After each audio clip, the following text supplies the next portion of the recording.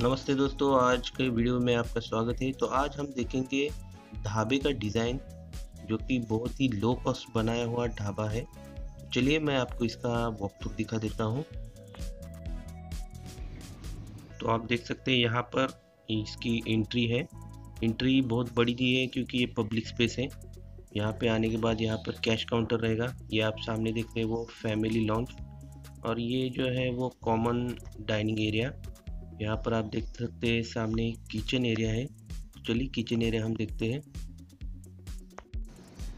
तो कुछ 20 बाय 12 का यहाँ पे किचन एरिया दिया हुआ है। यहाँ पे आप सामने देख सकते हैं तंदूर लगा हुआ और यहाँ पे कुछ तो स्टोरेज वगैरह रहने के लिए उनका एरिया दिया है, ये सर्विस तो चलिए और कुछ मैं आपको इसके बारे में एक्सप्लोर करता हूँ। हाँ तो या दोस्तों ये देख सकते हैं मैंगो ट्री का यहाँ पर वुड यूज़ किया हुआ है, जो कि एक स्क्वायर पाइप पे स्क्रूइंग किया हुआ है। और यहाँ पे ऊपर से शैंडिलियर्स वगैरह बाद में आएँगे। ये देखिए प्राइवेसी भी मेंटेन होती है इस वुडन फ्लैंक से। और थोड़ा ग्रैंड लुक भी दिखता है। यहाँ पे ऊपर पूरा जो पतरा रहता है, वो यूज़ किया हुआ है। दो बाय दो की टाइल्स जो मैट फिनिश में है ब्राउन कलर की।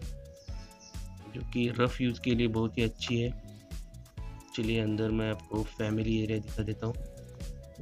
ये रहा फैमिली के लिए इतना एरिया जितना किचन का है, उतना ही यहाँ पर फैमिली के लिए भी रखा है।